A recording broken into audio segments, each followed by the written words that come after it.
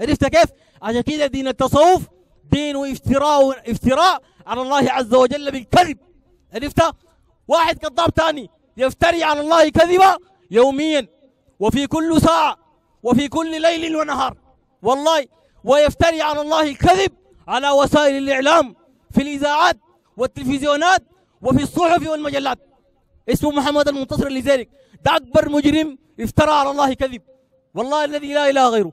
جاء ينشر كفر وينشر شرك وضلال ما جاء بهذا الكفر والشرك قبله من المشركين بل لم يأتي بما جاء به إبليس إبليس ذاته. ما جاء ما جاب حاجة زي ما جاء واحد منتصر. عرفت؟ زول قال غير الله سبحانه وتعالى يخلق. عرفت؟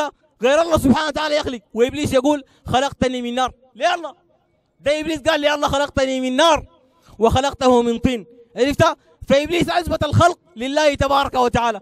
لكن محمد المنتصر هذا المجرم الأفاق الذي افترى على الله الكذب عقيدته أسوأ من عقيدة إبليس.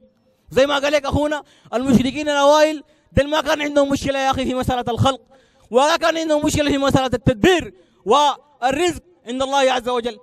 ما اختلفوا في هذا الأمر ولم يقاتلهم النبي عليه الصلاة والسلام على هذا الأمر. ما قاتلهم لأنه قالوا الخلق لغير الله. ولا قاتلهم لأنه كانوا ينسبوا الرزق لغير الله سبحانه وتعالى. عرفت؟ لكن قاتلهم النبي صلى الله عليه وسلم لأنهم أشركوا في العبادة. جعلوا مع الله إله آخر. دي القضية كلها. ودي القضية التي أرسل الله عز وجل من أجلها الرسل. ونزل الكتب. ولقد بعثنا في كل أمة رسولا أن يعبدوا الله واجتنبوا الطاغوت. ده الموضوع كله. عرفت؟ فأنت تجيب لك شرك ها ما أشرك به أبو جهل ولا أبو لهب. أنت ماش وين؟ ماش وين يا زول؟ وبعد ده أنت لما تتكلم في الحاجات دي والله قبل يومين في مسجد عرفت؟ بتاع أنصار سنة في شرق النيل هناك. مسجد بتاع أنصار سنة جبت اسم الزول ده واحد من أنصار سنة قال لي يا أخي ما أتكلم سامي من غير أسمع. أتكلم من غير أسمع. ده أنصار سنة. إنت تعطي صورة سنة كيف؟ إذا ما رديت على الباطل ده. والله ربنا سبحانه وتعالى يسألك عن هذا الأمر. والله الذي لا إله ربنا قال ولنسألن الذين أرسل إليهم ولنسألن المرسلين. ها ربنا قال وكذلك نفصل الآيات ولتستبين سبيل المجرمين. ده تبين سبيل المجرمين ده كيف؟ إذا ما بينت بينت ضلالهم وبينت شركهم ده تبين كيف يعني؟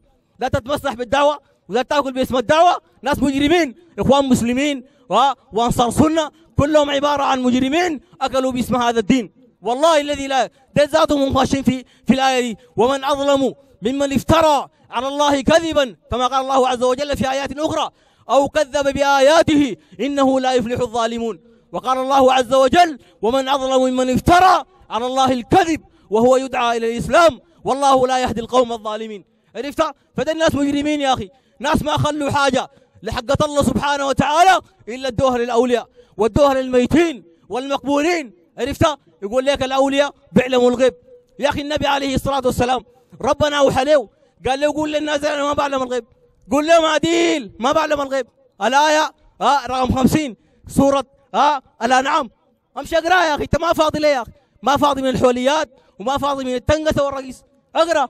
قال الله جل وعلا قل لا أقول لكم عندي خزائن الله ولا أعلم الغيب.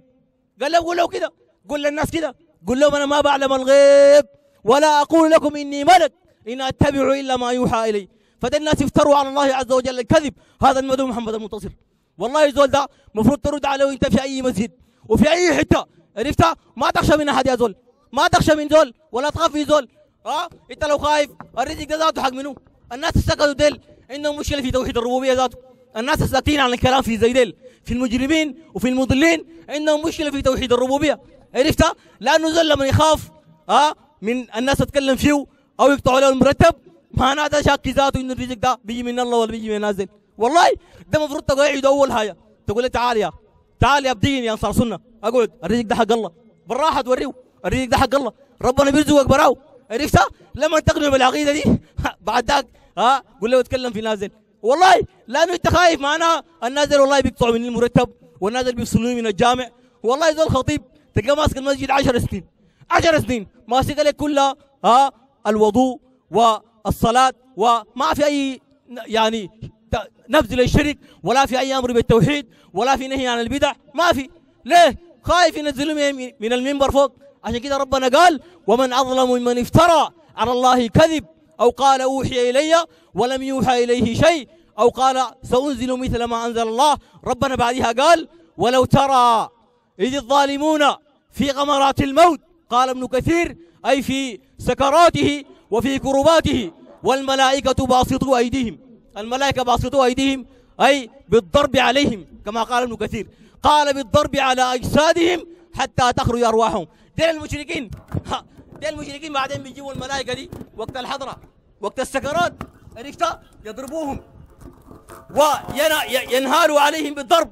ليه؟ لأنهم جعلوا مع الله عز وجل آلهة. جعلوا مع الله عز وجل شركاء. ولو ترى أيدي الظالمون باسطوا أيديهم والبسط هنا بمعنى الضرب. كما كما قال الله عز وجل على ابن آدم قال لئن بسطت إلي يدي يدك لتقتلني ما أنا بباسط يدي إليك ليقتلك أي لأضربك. عرفت؟ فالملائكة تضرب الناس بيدعوا مع الله سبحانه وتعالى. وزي ما جاء أيضا في سورة الأعراف فمن أظلم ممن افترى على الله كذبا أو كذب بآياته أولئك ينالهم نصيب من الكتاب حتى إذا جاء أحدهم الموت توفته رسلنا وهم لا يفرطون. ها؟ ربنا سبحانه وتعالى قال حتى إذا جاء أحدهم حتى إذا جاء أحدهم الموت توفته رسلنا وهم لا يفرطون. الملائكة بتجي. ها؟ ربنا قال وهو القاهر فوق عباده. ها؟ وهو القاهر فوق عباده. ربنا سبحانه وتعالى قاهر. ليه؟ لأنه يا أخواننا ما في زول بيقدر حاجة ما في زول يقدر يعمل حاجة وقت الساعة دي الشغل ما حق زول ولا حق الشركة ادعيتهم مع الله سبحانه وتعالى. عرفت؟ ولا حق الأنداد. ده شغل حق ربنا سبحانه وتعالى. ربنا يرسل له الملائكة شغل المودة ها؟ عشان كده ربنا قال هو الذي يتوفاكم بالليل ويعلم ما جرحتم بالنهار ربنا براو اللي يتوفاكم. قل يتوفاكم ملك الموت. قل يتوفاكم ملك الموت. عرفت؟ فالملائكة بتجي للناس اللي بيدعوا مع الله سبحانه وتعالى في سكرات الموت. بيقول لهم شنو؟ أينما كنتم تدعون من دون الله. أينما كنتم تدعون من دون الله. قالوا ضلوا عنا. ضلوا عنا. يعني نازل الليلة ما شايفين لنا طريقة. ها؟ ما شايفين لنا ذاته. ضلوا عنا. وشهدوا على أنفسهم أنهم كانوا كافرين. شهدوا ذاتهم. قالوا إحنا والله كنا كافرين. عرفت؟ فالملائكة دي بتجي بعدين تضرب الناس الضرب عجيب. باسطوا أيديهم. أخرجوا أنفسكم من هذه السكرات سكرات الموت. أخرجوا أنفسكم. اليوم تجزون عذاب الهون بما كنتم تقولون على الله غير الحق. يا محمد المنتصر اللي ذلك ويا غيره من المجرمين. تقول على الله سبحانه وتعالى قولا غير حق. ها؟ تقول ممكن تنادي الأولياء والصالحين. وتستدل بآيات. انت ما فهمتها. يا أخي انت ساقط لغة عربية ذاته. والله قال ممكن تنادي الأولياء وتنادي الصالحين. الدليل ها؟ قال يوم يقول المنافقون ها؟ والمنافقات للذين آمنوا انظرونا نقتبس من نوركم. انظرونا قال. انظرونا قال معناه مدد مدد مدد. نظرة نظرة يا أبو هاشم. يا أخي انظرونا هنا ما معنا مدد يعني. ما معنا عدونا والحقونا انظرونا يعني أمهلونا ها؟ النظر هنا بمعنى المولى. انت قاعد دي لغة عربية وقاعد دي دين. والله كله قاعد دي. وانت قاعد دي جغرافيا ذاته. قاعد دي جغرافيا. والله لأنه قال الطواف بيجوز بالقبر. ده قاعد دي جغرافيا. الطواف يزول في مكة. في مكة هناك. انت قاعد دي جغرافيا ولغة عربية ودين. كله قاعد يا زول ربنا قال وليطوه بالبيت العتيق. لذلك هذا الرجل افترى على الله كذبا افترى على الله كذبا يوميا بيجيب كذبة جديدة. يوميا. والله يكذب يكذب آه يقول له أقوال؟ تبي تراجعت قال ما في. يقول لك كما قال القرطبي في تفسيره كما قال ابن تيمية وكذب كله. تبي ترجع كلام تلقى ما في. فهذا الرجل مجرم وغيره من أصحاب الطرق. كل الأشعار التي جابوها أصحاب الطرق كلها كذب وافتراء على الله عز وجل وقول على الله سبحانه وتعالى بغيرهم. عشان كده ربنا قال إنه لا يفلح الظالمون. لذلك يا إخواننا ها الموضوع ده عرفت ما هين. إنك كونه تقعد ساكت. ما تمشي تشتغل. تشتغل في الجامع تشتغل في بيتكم تشتغل تفطر مع الناس تحذر من ده وتحذر من غيره من المجرمين. ليه؟ لأنه يا اخوانا دي نشر الكفر على مستوى الإعلام. والله أختك تلقاها قاعدة في البيت وأخوك قاعد في البيت ما فاهم. مسكين يفتح الإذاعة ها؟ يلقى زول شغال.